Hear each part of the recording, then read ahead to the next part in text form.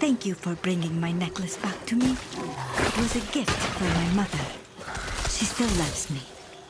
Deep down.